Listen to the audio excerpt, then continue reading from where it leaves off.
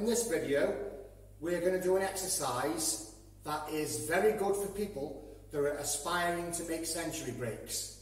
A really good, realistic exercise which would spur you on enough to keep practicing it because the value on the table is 107 points.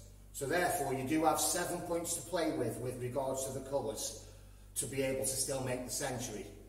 But even so, it's a good exercise and quite realistic in terms of being able to see if your ability is up to the standard which would enable you to make a century.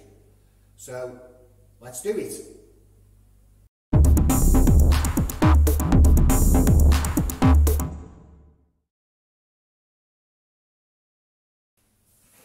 Okay, nice easy red to leave an angle on the black, preferably on this line that's parallel with the cushion, to get into the three reds.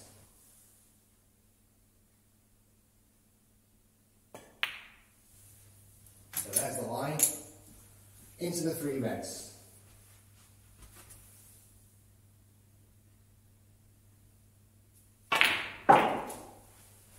The pink hasn't gone too far up the table which is good. And the challenge is to try and remain on the black with every red.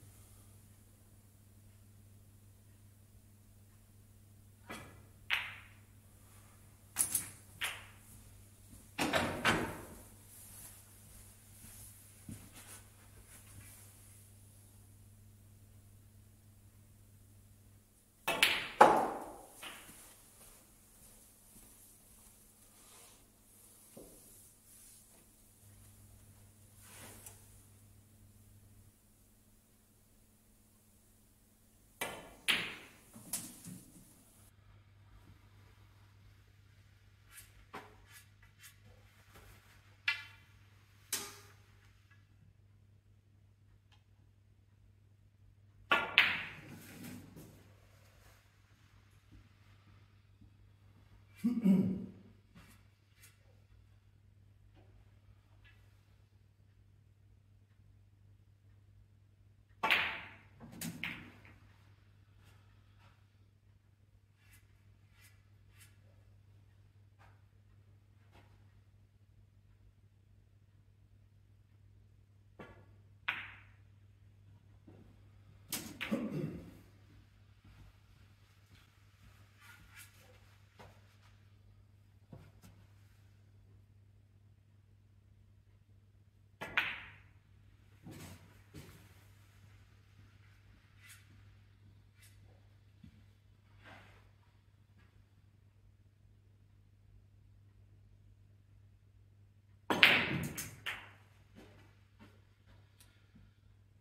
Fortunately, I managed to get the 107, so all blacks with reds.